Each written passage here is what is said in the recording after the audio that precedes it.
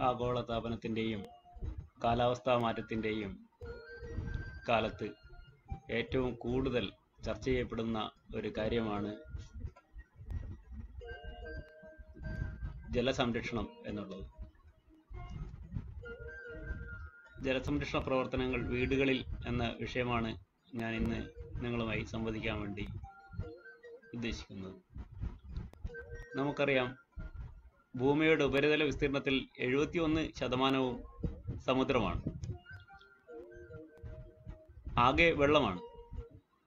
എന്നാൽ ഈ വെള്ളത്തിൽ ലഭ്യമായ വെള്ളം തൊണ്ണൂറ്റിയേഴ് ശതമാനവും ഉപ്പുവെള്ളമാണ്. കടലുകളിലും കായലുകളിലും ഒക്കെ ആയി കിടക്കുന്നു. ബാക്കിയുള്ള മൂന്ന് ശതമാനം വെള്ളം മാത്രമാണ് ശുദ്ധജലം. അതിൽ തന്നെ പോയിന്റ് മൂന്ന് മൂന്ന് ശതമാനം മാത്രമാണ് നമുക്ക് ഉപയോഗിക്കാനാവ ലഭ്യമാകുന്ന വെള്ളം. ബാക്കിയെല്ലാം തന്നെ ധ്രുവപ്രദേശങ്ങളിലെ മഞ്ഞുകട്ടകളിലോ അല്ലെങ്കിൽ ഭൂഗർഭ ജലത്തിൽ ഭൂഗർഭത്തിലോ ഒക്കെ ഉള്ള ജലമാണ്.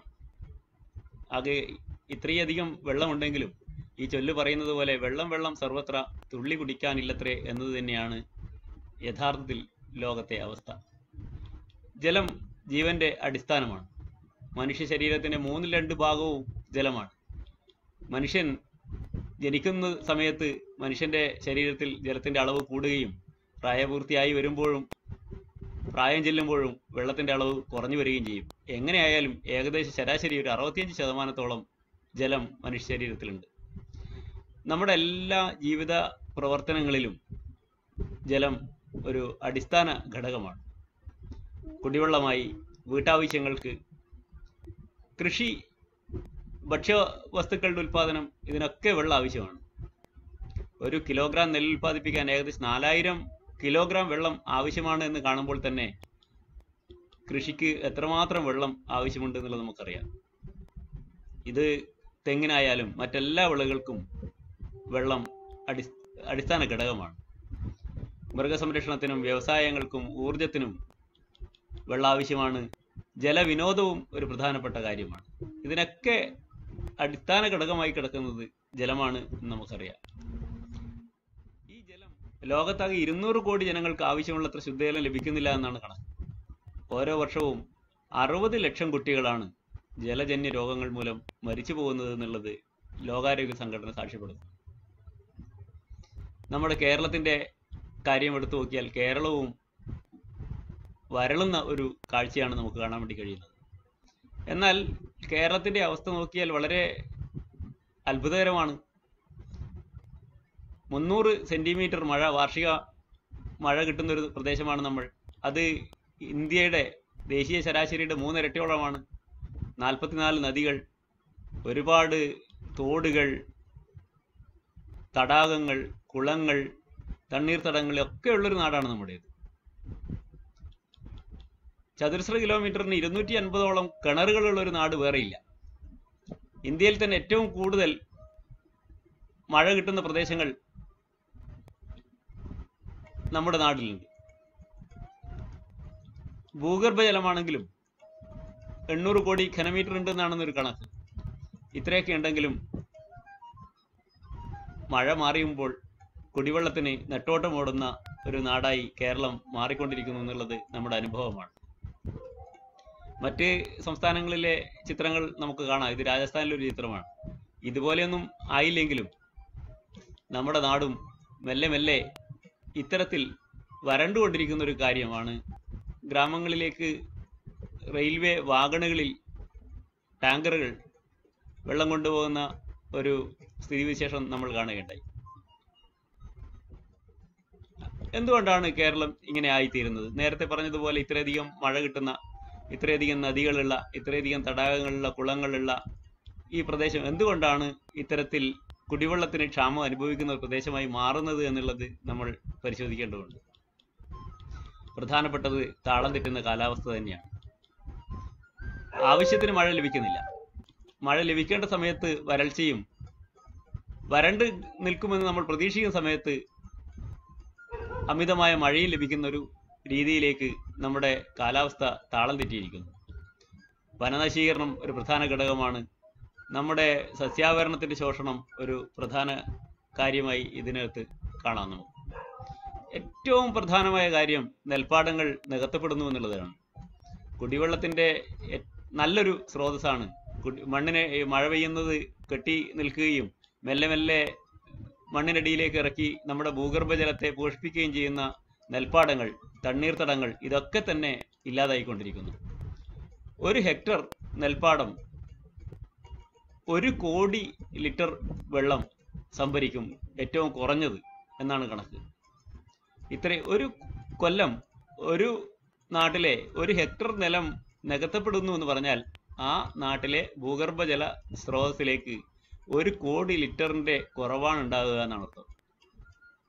ഇടനാടൻ ചെങ്കൽക്കുന്നുകൾ ഇടിച്ചു നിരത്തുന്നത് കണ്ണൂർ ജില്ലയിൽ പ്രധാനപ്പെട്ട ഒരു കാര്യമാണ്. ഇടനാടൻ ചെങ്ക ചെങ്കൽക്കുന്നുകളെല്ലാം ഇടിച്ചു നിരത്തുന്നു. ഈ നികത്തുന്ന ഇടിക്കുന്ന മണ്ണ് മുഴുവൻ കൊണ്ടുപോയി താഴ്ന്ന വയലുകളിലും ചതുപ്പുകളിലുമാണ് നിക്ഷേപിക്കുന്നത് എന്നുള്ളത് രണ്ട് തരത്തിലാണ് ഇത് നമ്മുടെ കുടിവെള്ള ലഭ്യതയെ ബാധിക്കുന്നത്. മണൽ ഖനനം അനിയന്ത്രിതമായ മണൽ ഖനനം നമ്മുടെ നദികളിൽ ഒരു യാതൊരു നിയമവും നിയന്ത്രണവും ഇല്ലാതെ മണൽ വാരിയെടുക്കുന്നതിന്റെ പ്രശ്നങ്ങൾ നമുക്കറിയാം. കരിങ്കൽ പാറയായാലും ചെങ്കൽ ഖനനമായാലും വളരെ വ്യാപകമായി തന്നെ നമ്മുടെ നാട്ടിൽ ഈ ഖനന പ്രവർത്തനങ്ങൾ നടന്നുകൊണ്ടിരിക്കുന്നു. ഇതൊന്നും വേണ്ട എന്നുള്ളതല്ല. മണൽ വേണ്ട ഈ കരിങ്കല്ല് വേണ്ട ചെങ്കല്ല് വേണ്ട എന്ന് പറയുന്നതൊന്നും അത്ര ശാസ്ത്രീയമായ കാര്യമല്ല. അല്ലെങ്കിൽ അതൊരു യുക്തിപരമായ കാര്യമല്ല. നമ്മുടെ അത്യാവശ്യങ്ങൾക്ക് നിർമ്മാണ പ്രവൃത്തികൾക്ക് വീടുകൾക്കും ഒക്കെ അത്യാവശ്യത്തിന് ഈ വിഭവങ്ങളെല്ലാം തന്നെ നമുക്ക് ഖനനം ചെയ്ത് എടുക്കേണ്ടി വരും. എന്നാൽ ഇന്നുള്ളത് ആവശ്യത്തിൽ കൂടുതൽ നിർമ്മാണ പ്രവൃത്തികൾക്ക് നമുക്കറിയാം വീടിനൊക്കെയാണ് ഏറ്റവും കൂടുതൽ ഈ പറയുന്ന മണലായാലും പാറയായാലും ചെങ്കലായൊക്കെ പോകുന്നത്. ഒരു സാധാരണ കുടുംബത്തിന് ആവശ്യമായ അളവിലുള്ള വീടിന്റെ എത്രയോ ഇരട്ടി വലിപ്പമുള്ള വീടുകളാണ് ഇന്ന് പലപ്പോഴും നിർമ്മിക്കപ്പെടുന്നത്. ഇതിന് ഈ ചുറ്റും നിർമ്മിക്കപ്പെടുന്ന മതിലിന് തന്നെ ഒരു പാവങ്ങളായ ആളുകളുടെ മൂന്നാൽ ആളുകൾക്ക് വേണ്ടുന്ന വീടിന്റെ വിഭവങ്ങൾ ഒരാളുടെ ചുറ്റുമതിൽ ഉപയോഗിക്കുന്ന രീതിയിൽ പോലും നമ്മൾ ഇന്ന് കാണും. വികസനം എന്ന് പറയുന്നത് പ്രകൃതിയെ പരിഗണിക്കാതെ എന്ത് ആയാലും തന്റെ സൗകര്യം തന്റെ ലാഭം എന്ന രീതിയിൽ മാത്രം ഇക്കാര്യം കാണുന്ന ഒരു സ്ഥിതി നമ്മുടെ നാട്ടിലുണ്ട് എന്നുള്ളത് കാണാതിരുന്നുകൂടാ. ചിറകളും കുളങ്ങളും എല്ലാം നികത്തപ്പെടുന്നു. കിണറുകൾ നികത്തപ്പെടുന്നു. കാവുകളില്ല കുള തലക്കുളങ്ങളില്ല. ജലസംരക്ഷണം നടത്തുന്ന കാർഷിക മുറകൾ ഇല്ലാതായതാണ് ഇതിനകത്ത് ഏറ്റവും എടുത്തു പറയേണ്ട ഒരു പ്രശ്നം. ഏറ്റവും നല്ല ജലസംരക്ഷണ ഉപാധി കൃഷി നടത്തുക എന്നുള്ളതാണ്. നല്ല രീതിയിൽ കൃഷി നടക്കുമ്പോൾ ആ മഴ പെയ്യുന്ന വെള്ളം മണ്ണിനകത്തേക്ക് ഇറങ്ങി ചെല്ലുന്നതിനും അത്യാവശ്യം സംഭരണിയായി പ്രവർത്തിക്കുന്നതിനും ഒക്കെ നമ്മുടെ മഴവെള്ളം മണ്ണിലേക്ക് ഇറങ്ങുകയും അത് ഭൂഗർഭജലത്തെ പരിപോഷിപ്പിക്കുകയും ചെയ്യും. കൃഷി നടക്കാത്ത സ്ഥലത്ത് ജലം കുത്തിയൊലിച്ച് അങ്ങ് പോവുകയും വെള്ളപ്പൊക്കത്തിന് കാരണമാവുകയും ചെയ്യും. കൃഷിരീതികൾ നമുക്ക് നമ്മുടെ പരമ്പരാഗത കൃഷിരീതികൾ തുടർന്നാൽ തന്നെ നമുക്ക് ഒട്ടേറെ ജലം സംരക്ഷിക്കാൻ കഴിയും. ഈ പുതയിടൽ പോലുള്ള കോണ്ടൂർ കൃഷി പോലുള്ള പുതിയ രീതികളും നമ്മുടെ നാട്ടിലേക്ക് നമ്മൾ കൊണ്ടുവന്നിട്ടുള്ള കാര്യമാണ്. ഇത്തരം പ്രവർത്തനങ്ങൾ കൃഷി നടക്കുന്നില്ല എന്നുള്ളതാണ് പൊതുവെ നമ്മുടെ നാട്ടിൽ ജല ദൗർലഭ്യത്തിന് ഒരു പ്രധാനപ്പെട്ട കാരണമായി മാറുന്നത് എന്നുള്ളത് നമ്മൾ കാണാതിരുന്നുകൂടാ. ഞാൻ ഇവിടെ സംസാരിക്കുന്നത് ജലസംരക്ഷണ പ്രവർത്തനങ്ങൾ എങ്ങനെ വീടുകളിൽ നമ്മൾ കൈകാര്യം ചെയ്യണം എന്നുള്ളതാണ്. നമുക്കറിയാം ഒരാൾക്ക് ജീവിക്കാൻ ഏറ്റവും അടിസ്ഥാനമായത് വായുവാണ്. ഈ നമ്മുടെ പ്രാണവായുവാണ്. അത് കഴിഞ്ഞാൽ ഏറ്റവും പ്രധാനപ്പെട്ട കാര്യം ജലമാണ്. അതിൽ കുടിക്കാൻ ഒരാൾക്കൊരു ദിവസം ചുരുങ്ങിയത് മൂന്ന് ലിറ്റർ വെള്ളമെങ്കിലും വേണം. പാചകത്തിന് നാല് ലിറ്റർ കുളിക്കുന്നതിന് ഒരു ഇരുപത് ലിറ്റർ കക്കൂസിൽ ഒഴിക്കുന്നതിന് രണ്ടു നേരം കക്കൂസിൽ പോകുന്ന ഒരാളാണെങ്കിൽ എന്തായാലും നാൽപ്പത് ലിറ്റർ അലക്കുന്നതിന് ഇരുപത്തഞ്ച് ലിറ്റർ മറ്റു കഴുകലുകൾക്ക് ഇരുപത് ലിറ്റർ ചെടികൾ നനക്കാൻ ഇരുപത്തിമൂന്ന് ലിറ്റർ ആകെ നൂറ്റി മുപ്പത്തി അഞ്ച് ലിറ്റർ വെള്ളമെങ്കിലും ശരാശരി ഇന്ത്യക്കാരന് വേണമെന്നാണ് ബ്യൂറോ ഓഫ് ഇന്ത്യൻ സ്റ്റാൻഡേർഡ്സിന്റെ കണക്ക്. ഇങ്ങനൊരു കണക്ക് നോക്കുകയാണെങ്കിൽ ഒരു വീട്ടിൽ ശരാശരി നാലാൾ ഉപയോഗിക്കുകയാണെങ്കിൽ തന്നെ അഞ്ഞൂറ് ലിറ്റർ വെള്ളം നമുക്ക് ഒരു ദിവസം വേണം എന്നുള്ളത് കാണാൻ വേണ്ടി കഴിയും. ഇത്രയും വെള്ളം നമുക്ക് എല്ലാ സമയത്തും ലഭ്യമാകുന്നില്ല എന്നുള്ളതാണ് കേരളത്തിലെ ഏറ്റവും പ്രധാനപ്പെട്ട കാര്യം. മഴക്കാലത്ത് June July August September October മാസം വരെ പൊതുവെ കേരളത്തിൽ അങ്ങോളം ഇങ്ങോളം വെള്ളത്തിന് വലിയ ക്ഷാമമൊന്നും ഉണ്ടാകുന്നില്ലെങ്കിൽ ഡിസംബർ ജനുവരി ഫെബ്രുവരി ആകുമ്പോഴേക്ക് വെള്ളം മെല്ലെ മെല്ലെ വറ്റിപ്പോവുകയും മാർച്ച് ഏപ്രിൽ മെയ് വെള്ളത്തിന് ഏറ്റവും കഠിനമായ ക്ഷാമം ഉണ്ടാവുകയും ചെയ്യുന്നു എന്നുള്ളത് നമുക്ക് കാണാൻ വേണ്ടി കഴിയും. ഈ പ്രശ്നമാണ് കേരളത്തെ ഏറ്റവും കൂടുതൽ ബാധിക്കുന്നത്. എല്ലാ സമയത്തും നമുക്ക് ക്ഷാമമില്ല മഴ പെയ്യുമ്പോൾ നമുക്ക് ആവശ്യത്തിലധികം വെള്ളം കിട്ടും. മഴ മാറിക്കഴിഞ്ഞാൽ നമുക്ക് അത്യാവശ്യത്തിന് പോലും വെള്ളം കിട്ടുന്നില്ല എന്നുള്ള ഒരു അവസ്ഥയാണ് എന്നുള്ളത് അങ്ങനെയാണെങ്കിൽ നമുക്ക് പല കാര്യങ്ങളും ചെയ്യേണ്ടി വരും. സർക്കാർ തലത്തിൽ പല നയ സമീപനങ്ങൾ എടുക്കേണ്ടി വരും. അതാണ് തണ്ണീർത്തട സംരക്ഷണ നിയമമൊക്കെ നമ്മൾ കാണുന്നത്. മലിനീകരിക്കുന്നതിനെതിരെയുള്ള വലിയ നടപടികൾ ഫാക്ടറികൾക്കും എല്ലാം ചെയ്യേണ്ടുന്ന കുറേ പ്രവർത്തനങ്ങളുണ്ട്. എന്നാൽ വ്യക്തിപരമായി നമുക്ക് ചെയ്യേണ്ട കാര്യങ്ങൾ എന്തൊക്കെയാണെന്നാണ് ഞാനിവിടെ ഇന്ന് സംസാരിക്കുന്നത്. നമുക്ക് വെള്ളത്തിന്റെ പാഴ്ചെലവ് കുറക്കുക എന്നുള്ളതാണ് ഏറ്റവും പ്രധാനപ്പെട്ട കാര്യം. ആവശ്യത്തിലധികം വെള്ളം നമ്മൾ ഉപയോഗിക്കും. നമുക്ക് ഇതിന്റെ ഒരു വില നമ്മൾ മനസ്സിലാക്കാത്തത് കൊണ്ട് തന്നെ വെള്ളം നമുക്ക് ഇഷ്ടം പോലെയുണ്ട്. അങ്ങനെ ശീലിച്ചു പോയ ആളുകളാണ് നമ്മൾ. അതുകൊണ്ട് ഒരു പാത്രം കഴുകുന്നതിന് വേണ്ടി അല്ലെങ്കിൽ ഈ നനക്കുന്നതിന് വേണ്ടി വാഹനം കഴുകുന്നതിന് വേണ്ടി ഒക്കെ ആവശ്യത്തിലും അധികം വെള്ളം ഉപയോഗിക്കുന്ന ഒരു സ്വഭാവം നമുക്കുണ്ട്. ടാപ്പ് അങ്ങ് തുറന്നു വെക്കും. പലപ്പോഴും ഈ വാട്ടർ സപ്ലൈന്റെ പൈപ്പ് ലൈനിലേക്ക് നമ്മൾ പലപ്പോഴും കാണാറുണ്ട്. ഏതെങ്കിലും ഒരു വീട്ടുകാരൻ ഈ ടാപ്പിന് ഒരു കെട്ടി വെച്ചിട്ടുണ്ടാവും. ഒരു പാനി താഴെ ഒരു പാത്രം എന്തെങ്കിലും ബക്കറ്റോ ഒക്കെ വെച്ച് ആ ഒരു കെട്ടും കെട്ടി വെച്ച് വെള്ളം ഒഴുകിക്കൊണ്ടേയിരിക്കും. അത് ഒരു കണ്ടയാൾ ആരെങ്കിലും അത് ഓഫാക്കാൻ വേണ്ടി പോകും വരെയില്ല ഈ രീതിയിൽ ടാപ്പ് തുറന്നിട്ട് വെള്ളം പാഴാക്കുന്നത് ഒരുപാടുണ്ട്. ഇത് ടാപ്പ് അല്ല ഈ നമ്മൾ വെള്ളം കോരിയെടുക്കുന്ന ആളാണെങ്കിലും ആവശ്യത്തിൽ കൂടുതൽ വെള്ളം ഉപയോഗിക്കുന്നത് പലപ്പോഴും നമ്മൾ കാണാറുണ്ട്.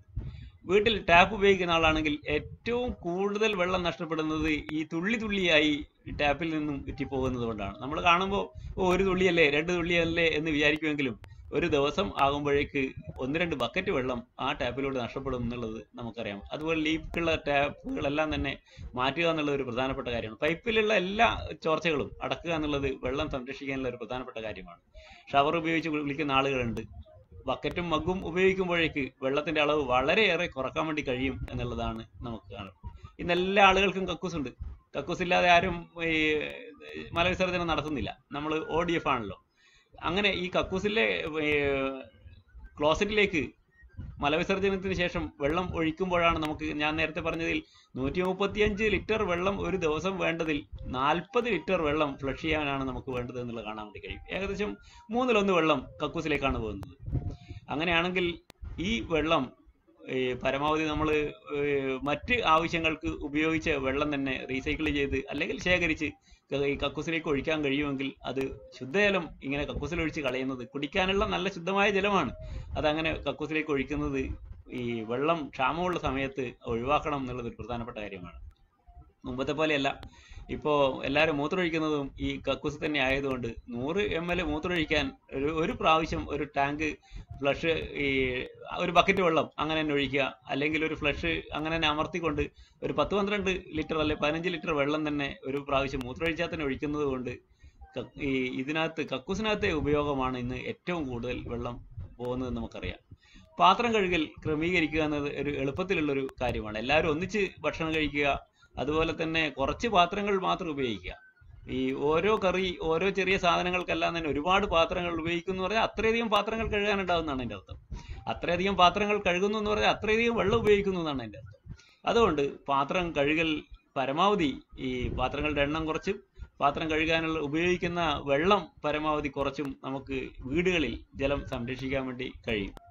അതുപോലെ ചില ആളുകൾക്ക് ഇപ്പോൾ പല സ്ഥലങ്ങളിലും വാഷിംഗ് മെഷീൻ കാണാറുണ്ട് ഈ വാഷിംഗ് മെഷീൻ ഒരുപാട് ജലം ഉപയോഗിക്കും. നമ്മൾ ഈ സാധാരണ കൈകൊണ്ട് കഴുകുന്നതാണെങ്കിൽ ബക്കറ്റിൽ വെച്ച് നമ്മൾ കഴുകുന്നതാണെങ്കിൽ വെള്ളത്തിന്റെ ഉപയോഗം വളരെ കുറവാണ് ഉണ്ടാകുക അത് ഈ ജല ഉപയോഗം വളരെ കുറക്കുന്ന ഒരു രീതിയാണ് നമ്മൾ നമ്മൾ കൈകൊണ്ട് അലക്കുക എന്നുള്ളത്. മുമ്പ് ആളുകളെല്ലാം തന്നെ പുഴയിലോ അല്ലെങ്കിൽ തോടിലോ ഈ കുളത്തിലോ പോയാണ് അലക്കുക എന്നുള്ളതുകൊണ്ട് ഈ ഒരു ആവശ്യം നമ്മുടെ പൊതുവെ വീടുകളിലൊന്നും തന്നെ അലക്കുന്നതിനുള്ള വെള്ളത്തിന്റെ ആവശ്യം നമ്മൾ കാണാറുണ്ടായിരുന്നില്ല. എന്നാൽ ഇന്ന് ഒരു പ്രധാനപ്പെട്ട ചെലവ് ഈ വെള്ളത്തിന്റെ ചെലവ് എന്ന് പറയുന്നത് അലക്കുന്നതിന് വേണ്ടിയാണ്. അത് അതിൽ കുറച്ച് ശ്രദ്ധിച്ചാൽ തന്നെ നമുക്ക് ഒരുപാട് ലാഭിക്കാൻ വേണ്ടി കഴിയും. മൃഗങ്ങളെ കുളിപ്പിക്കാൻ പലപ്പോഴും കുടിവെള്ളമാണ് നമുക്ക് കിട്ടുന്ന വെള്ളം തന്നെയാണ് നല്ല ശുദ്ധമായ വെള്ളം തന്നെയാണ് നമ്മൾ മൃഗങ്ങളെ കുളിപ്പിക്കാനും എല്ലാം ഉപയോഗിക്കുന്നത്. അതിൽ പലപ്പോഴും നമുക്ക് അതല്ലാത്ത അത്രയധികം കുടി കുടിക്കാനുള്ള ശുദ്ധിയില്ലാത്ത വെള്ളം തന്നെ ഉപയോഗിച്ച് മൃഗങ്ങളെ കുളിപ്പിക്കാനൊക്കെ കഴിയും. വാഹനം കഴുകാൻ പലപ്പോഴും കുടിവെള്ളം തന്നെയാണ് ആളുകൾ ഉപയോഗിക്കുന്നത്. അത് എത്രമാത്രം ആളുകൾ വളരെ ശ്രദ്ധിക്കാതെ ഈ അമിതമായി തന്നെ ഈ വെള്ളം ഉപയോഗിക്കുന്നത് നമുക്ക് കാണാൻ വേണ്ടി കഴിയാറുണ്ട്. തോട്ടം നനക്കാനും ഇതൊക്കെ ഈ ഈ ഇങ്ങനെയുള്ള കാര്യങ്ങളൊക്കെ തന്നെ നമ്മൾ ശ്രദ്ധിച്ചാൽ നമുക്ക് വീട്ടിൽ വെള്ളം ഉപയോഗത്തിൽ വളരെ കുറവ് ഉണ്ടാക്കാൻ വേണ്ടി കഴിയും.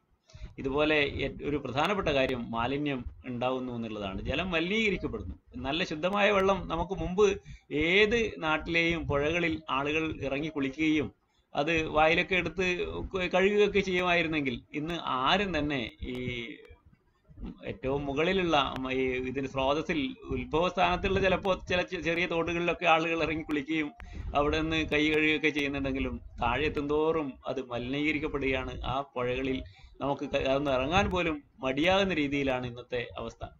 ഇതെന്തുകൊണ്ടാണ്? നമ്മുടെ മാലിന്യ സംസ്കരണത്തിന്റെ ഒരു തെറ്റായ രീതി കൊണ്ടാണ്. ഈ എന്ത് മാലിന്യമായാലും പലപ്പോഴും നമ്മൾ കാണാറുണ്ട്. ഈ അറവ് മാലിന്യങ്ങളൊക്കെ തന്നെ ഏതെങ്കിലും പുഴയുടെ ഒരു ഈ ഓരത്ത് കൊണ്ടിടുക അല്ലെങ്കിൽ പുഴയിലേക്ക് കൊണ്ടിടുക എന്നുള്ളത് ഒരു പ്രധാനപ്പെട്ട ഒരു പ്രശ്നമായി നമ്മൾ കാണാറുണ്ട്. അതുകൊണ്ട് തന്നെ മലിനീകരിക്കുന്ന ഒരു ഈ പ്രശ്നത്തെ ആണ് നമ്മൾ ഏറ്റവും പ്രധാനമായും നേരിടേണ്ടുന്നത്. പുഴയോരങ്ങളിൽ എല്ലാം തന്നെ പലവിധ മാലിന്യങ്ങൾ കെട്ടിട അവശിഷ്ടങ്ങളായാലും ഈ അറവ് മാലിന്യങ്ങളായാലും എല്ലാം കൊണ്ടിടുന്നതായി നമ്മൾ കാണാറുണ്ട്. അതുപോലെ തന്നെ ഒരു പ്രധാനപ്പെട്ട പ്രശ്നമാണ് ഒരു ഈ പാഴ്ക്കിണറുകൾ. പൊട്ടക്കിണർ എന്ന് നമ്മൾ പറയും.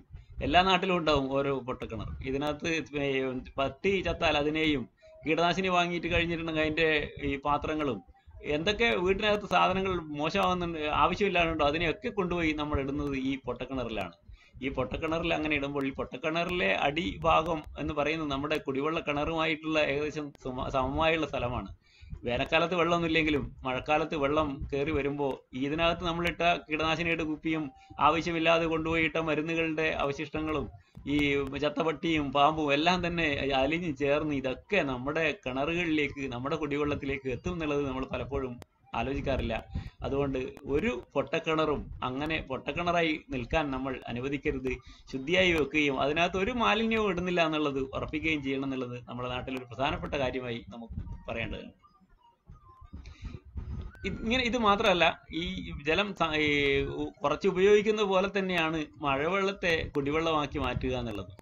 മുമ്പ് നമ്മുടെ നാട്ടിൽ മഴവെള്ളം മലയോര പ്രദേശങ്ങളിൽ പല സ്ഥലത്തും ഞാനൊക്കെ പണ്ട് കണ്ടിട്ടുണ്ട്. ഈ മഴവെള്ളം ഇതുപോലെ ഈ ചിത്രത്തിൽ കാണുന്ന പോലെയുള്ള സംവിധാനത്തിൽ അല്ലെങ്കിൽ ഒരു ഏതെങ്കിലും ഈ തെങ്ങ് പോലുള്ള മരത്തിന് ഒരു ചെറിയ പാത്തിയൊക്കെ കെട്ടി അതുവഴി വരുന്ന വെള്ളത്തെ ഒരു പാത്രത്തിലേക്ക് എടുത്ത് നമ്മൾ ഒരു അരിപ്പയൊക്കെ എടുത്ത് നമ്മൾ കുടിവെള്ളമായി ഉപയോഗിക്കാറുണ്ട്.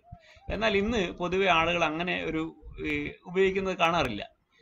ഇതെന്തുകൊണ്ടാണ്? നമുക്കറിയാം ഏറ്റവും ശുദ്ധമായ വെള്ളം മഴവെള്ളമാണ്.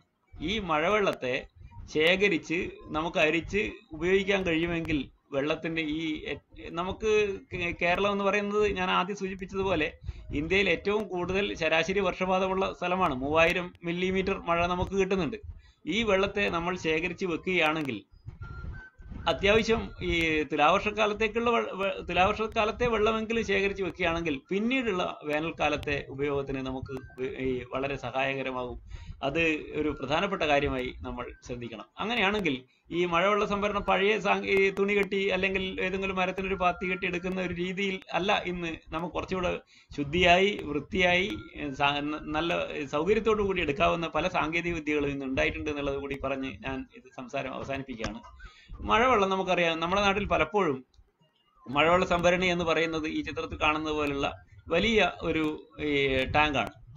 സിമെന്റ് ഫെറോ സിമെന്റ് കൊണ്ട് ഉണ്ടാക്കുന്ന മണ്ണിനടിയിലേക്കോ അല്ലെങ്കിൽ മണ്ണിൽ നിന്ന് മുകളിലേക്കോ ഉള്ള പതിനയ്യായിരം ലിറ്ററിന്റെയും ഇരുപതിനായിരം ലിറ്ററിന്റെയും ഒക്കെ ടാങ്കുകളാണ് നമ്മൾ കാണാറുള്ളത്.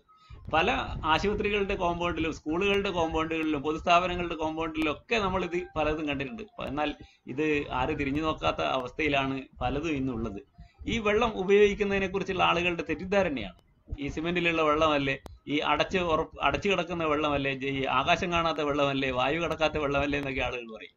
എന്നാൽ യഥാർത്ഥത്തിൽ വായു കടക്കാത്ത വെള്ളമാണ് നല്ലത്. ആകാ തുറന്നു കിടക്കാത്ത വെള്ളമാണ് നല്ലത്.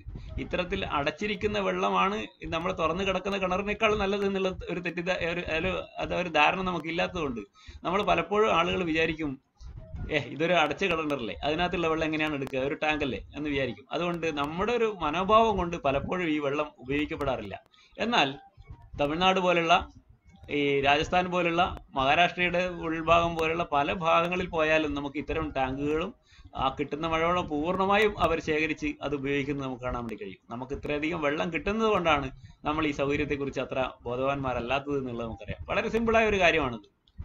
ഒരു ഫെറോസിമെന്റ് കൊണ്ട് ഒരു ടാങ്ക് ഉണ്ടാക്കുകയും ആ ടാങ്കിൽ ഈ പുരപ്പുറത്തു നിന്ന് വരുന്ന മഴവെള്ളത്തെ ഒരു പാത്തി പൈപ്പിലൂടെ ശേഖരിച്ച് മറ്റൊരു പൈപ്പിലൂടെ കടത്തിവിട്ട് ഒരു അരിപ്പ കൂടി ഉണ്ടായാൽ വളരെ കൃത്യമായി തന്നെ നമുക്ക് ഇതിനെ വൃത്തിയായി തന്നെ ഈ ടാങ്കിലേക്ക് മാറ്റാൻ വേണ്ടി കഴിയും. ആവശ്യമുണ്ടെങ്കിൽ ഈ ഉയർന്ന ഭൂമി തറനിരപ്പിൽ നിന്ന് ഉയർന്നു കിടക്കുന്ന ഒരു ടാങ്ക് ആണെങ്കിൽ അതൊരു ടാപ്പ് വെച്ച് നേരെ നമുക്ക് ഉപയോഗിക്കാം. അതല്ല മണ്ണിനടിയിലേക്കുള്ള ഒരു ടാങ്കാണ് നമ്മൾ ഉണ്ടാക്കുന്നുണ്ടെങ്കിൽ ആ ടാങ്കിൽ നിന്ന് ഒരു ഹാൻഡ് പമ്പ് കൊണ്ട് ഈ വെള്ളം പമ്പ് ചെയ്തെടുക്കുന്ന ഒരു അവസ്ഥ വരും. ഇതാണെങ്കിൽ ഇത്തരം ഒരു ഇരുപതിനായിരം ലിറ്ററിന്റെ ഒരു ടാങ്ക് നമ്മൾ അല്ലെങ്കിൽ ഒരു പതിനയ്യായിരം ലിറ്ററിന്റെ ഒരു ടാങ്ക് നമ്മൾ ഉണ്ടാക്കുകയാണെങ്കിൽ നമുക്ക് ഈ തുലാവർ August June July August September എന്ന് പറയുന്നത് നമ്മുടെ നല്ല മഴ കിട്ടുന്ന സമയമാണ്. അത് നമ്മൾ പൊതുവെ നമ്മുടെ എല്ലാ കിണറുകളും നിറഞ്ഞു നിൽക്കുന്ന സമയമാണ്. ആ സമയത്തുള്ള വെള്ളം നമുക്ക് ഇതിനകത്ത് ശേഖരിക്കണമെന്നില്ല. തുലാവർഷത്തിന്റെ മഴവെള്ളം മാത്രം ശേഖരിച്ച് ഇതിനകത്ത് നിറച്ചു വെക്കുകയാണെങ്കിൽ പിന്നീട് നമുക്ക് ജനുവരി ഫെബ്രുവരി മാർച്ച് മാസങ്ങൾ ഏപ്രിൽ മാസം വരെയുള്ള കാലത്ത് ഉപയോഗിക്കാൻ കുടിവെള്ളമായി അത്യാവശ്യത്തിനുള്ള വെള്ളമായി ഉപയോഗിക്കാൻ നമുക്ക് ഈ ടാങ്ക് തന്നെ ഒരു കുടുംബത്തിന് മതിയാവും എന്നുള്ളതാണ് നമ്മുടെ ഈ കണക്ക്. എന്നാൽ ഇതിനേക്കാളും എളുപ്പത്തിലുള്ള ഒരു സംവിധാനമാണ് ഇന്ന് ഈ ശാസ്ത്ര സാഹിത്യ പരിഷത്തൊക്കെ തന്നെ പ്രചരിപ്പിച്ചുകൊണ്ടിരിക്കുന്നത്. അത് കിണർ റീചാർജിങ് ആണ്. മഴവെള്ളം നമ്മുടെ ഓടാകട്ടെ ഷീറ്റാകട്ടെ ഈ അല്ലെങ്കിൽ കോൺക്രീറ്റിന്റെ റൂഫ് ആകട്ടെ എവിടെയാണോ വീഴുന്നത് ആ വെള്ളം ആ റൂഫ് ഒന്ന് കൃത്യ വൃത്തിയായി വെക്കണം എന്ന് മാത്രമാണ്. ആ വെള്ളത്തെ ഒരു പാത്തി പൈപ്പിലൂടെ ശേഖരിച്ച് ആ പാത്തി പൈപ്പിനെ നമ്മളൊരു ചെറിയ പൈപ്പുകൾ ശേഖരിച്ച് നമ്മളൊരു അറയിലേക്ക് ഒരു ഫിൽട്ടർ ചേംബറിലേക്ക് മാറ്റും. അങ്ങനെ വരുന്ന വെള്ളം ഒരു ചരലും കരിയും മണലും ഒക്കെ നിറച്ചിട്ടുള്ള ഒരു ടാങ്ക് ആദ്യം ഈ വെള്ളം ശേഖരിച്ച് ആ ടാങ്കിലൂടെ അരിച്ചതിന് ശേഷം ശുദ്ധിയായ വെള്ളം മാത്രമാണ് നമ്മൾ കിണറിലേക്ക് ഒഴുക്കുന്നത്. കിണർ റീചാർജിങ് ഇന്ന് വളരെ ഞാനത് അങ്ങനെ ഈ പരത്തി പറയണമെന്നല്ല തോന്നുന്നില്ല. കാരണം എല്ലാവർക്കും അറിയുന്ന കാര്യമാണ്. ഈ കിണറിലെ ഈ വെള്ളം നമ്മൾ ഈ നേരത്തെ പറഞ്ഞതുപോലെ തന്നെ ജൂൺ ജൂലൈ ആഗസ്റ്റ് മാസത്തെ വെള്ളമൊന്നും നമ്മൾ ഇതിനകത്തേക്ക് നേരിട്ട് ഒഴുക്കേണ്ട കാര്യമില്ല. ഈ പാത്തി പൈപ്പിൽ നിന്ന് ഈ ഫിൽറ്ററിലേക്ക് പോകുന്നതിന് മുമ്പായി ഒരു വാൽവ് വെക്കുകയാണെങ്കിൽ ഈ വരുന്ന മഴവെള്ളം നേരെ വാൽവ് തിരിച്ചങ്ങ് വിട്ടാൽ അത് ആ സമയത്തുള്ള വെള്ളം പുറത്തേക്ക് ഇങ്ങനെ പോവുകയും. പിന്നീട് ഈ നമുക്ക് തുലാവർഷവും വേനൽ മഴയും ശേഖരിച്ച് കിണറിലേക്ക് ഒഴുക്കിയാൽ തന്നെ നമുക്ക് കുടിവെള്ളത്തിനുള്ള ഒരു വലിയ സൗകര്യമായി നമുക്ക് കിട്ടും. ഇത് പല ആളുകളും പറയും ഇത് മഴവെള്ളമല്ലേ? ഇതെങ്ങനെയാണ് എടുക്കുക? ലോകത്തെ ഏറ്റവും ശുദ്ധമായ വെള്ളമാണ് മഴവെള്ളം. ഇതിനകത്ത് നമ്മുടെ മേൽപ്പുരയിൽ വീഴുന്ന അല്ലെങ്കിൽ ഈ ഓട്ടിന്റെയോ അല്ലെങ്കിൽ ഷീറ്റിന്റെയോ മുകളിൽ കിടക്കുന്ന എന്തെങ്കിലും മാലിന്യങ്ങൾ അലിഞ്ഞു ചേരുന്നുണ്ടെങ്കിൽ മാത്രമാണ് പ്രശ്നം. ഈ മാലിന്യങ്ങളെ അരിച്ചു മാറ്റുന്നതിന് വേണ്ടിയാണ് നമ്മൾ ഒരു വലിയ സംവിധാനം ഇതിനകത്ത് ഉണ്ടാക്കുന്നത്. ഒരു ചെറിയ ഇഷ്ടിക കൊണ്ട് കെട്ടിയ ഒരു ചെറിയ ടാങ്ക് ആകാം അല്ലെങ്കിൽ നമ്മൾ സാധാരണ വാങ്ങുന്ന വാട്ടർ ടാങ്ക് പോലത്തെ ഒരു ടാങ്ക് ആകാം സിൻഡെക്സ് പോലത്തെ ഒരു ടാങ്ക് ആകാം ഈ ടാങ്കിനകത്തേക്ക് അടി ഏറ്റവും അടിയിൽ നമ്മൾ അതിനകത്ത് ഇടുന്നത് ഈ ഇഷ്ടിക കഷ്ണമോ അല്ലെങ്കിൽ ഓട്ട് കഷ്ണമോ ആണ്. അതിനകത്ത് കുറച്ച് ഗ്യാപ്പ് ഉണ്ടാകണം. വെള്ളം ഈ സ്ഥലത്ത് നിന്നാണ് നമ്മൾ ചെറിയൊരു പൈപ്പ് വെച്ച് ഈ കിണറിലേക്ക് കൊടുക്കുന്നതുള്ളതുകൊണ്ട് വെള്ളം ഫ്രീ ആയി ഒഴുകുന്ന ഒരു ഇതായിരിക്കണം അത്. അതിന്റെ മുകളിലായി നമ്മൾ ഇടുന്നത് ചാർക്കോളാണ് ചാർക്കോൾ ആക്ടിവേറ്റഡ് ചാർക്കോൾ നമുക്ക് വാങ്ങാൻ വേണ്ടി കിട്ടും. അത് ഉപയോഗിക്കാം. അതല്ലെങ്കിൽ നമുക്ക് ചിരട്ടക്കരി കത്തിച്ച് ചിരട്ട കത്തിച്ച് കരിയാക്കി നമുക്ക് ഉപയോഗിക്കാം. പണ്ട് തന്നെ നമ്മുടെ നാട്ടിലൊക്കെ ഉപയോഗിക്കപ്പെടുന്ന ഒരു ഈ സാങ്കേതിക വിദ്യയാണത്. നമ്മുടെ നാട്ടുകാർക്ക് എല്ലാവർക്കും അറിയുന്ന ഒരു കാര്യമാണ്. കിണർ കുഴിച്ചു കഴിഞ്ഞാൽ അല്ലെങ്കിൽ കിണർ ഒന്ന് നമ്മൾ തോണ്ടി വൃത്തിയാക്കി കഴിഞ്ഞിട്ടുണ്ടെങ്കിൽ ആ കുറെ ചിരട്ട കത്തിച്ച് ഇട്ടിട്ടാണ് നമ്മൾ അതിനെ ശുദ്ധീകരിക്കുന്നത്. ചിരട്ടക്കരി നല്ലൊരു ഈ ഓക്സിജേരിയാണ് അതുപോലെ തന്നെ ചെറിയ ചെറിയ ഈ അണുക്കളെയൊക്കെ പിടിച്ച് മാറ്റുന്നതിനുള്ള ഒരു ഒരു ഫിൽട്ടറാണ്.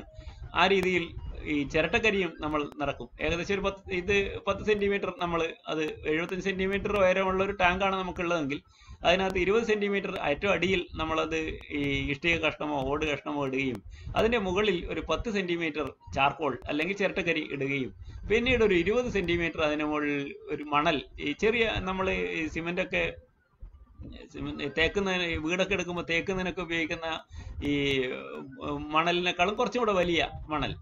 അത് സാധാരണ പൂഴി അരിച്ചു കിട്ടുന്ന ചെറിയ മണൽ കല്ല് അത് നമുക്ക് ഇടാം. അതിന്റെ മുകളിൽ ബേബി ജെല്ലി ഇട്ടാലും അത് ഈ സാധനങ്ങളെല്ലാം തന്നെ കഴുകിയിടണം ഈ ടാങ്കിനകത്തേക്ക് നിറക്കുമ്പോൾ എല്ലാം കഴുകിയിടണം എന്നുള്ളതാണ് ഒരു പ്രധാനപ്പെട്ട കാര്യം. അത് ഈ ചിരട്ടക്കരിയാകട്ടെ ഇഷ്ടിക കഷ്ണമാകട്ടെ കാരണം ഇതിനകത്ത് നിന്നുള്ള വെള്ളം മഴവെള്ളം ഇതിനകത്തേക്ക് വരുമ്പോൾ ഇതെല്ലാം വലിഞ്ഞ് കിണറിലേക്കാണ് പിന്നീട് വെള്ളം പോവുക എന്നുള്ളതുകൊണ്ട് നന്നായി കഴുകി വൃത്തിയാക്കിയ ചിരട്ടയക്കരിയായാലും ഇഷ്ടിക കഷ്ണമായാലും മണലായാലും ബേബി ജെല്ലി ആയാലും നിറക്കണം എന്നുള്ളതാണ് ഇതിനകത്തൊരു പ്രധാനപ്പെട്ട കാര്യം.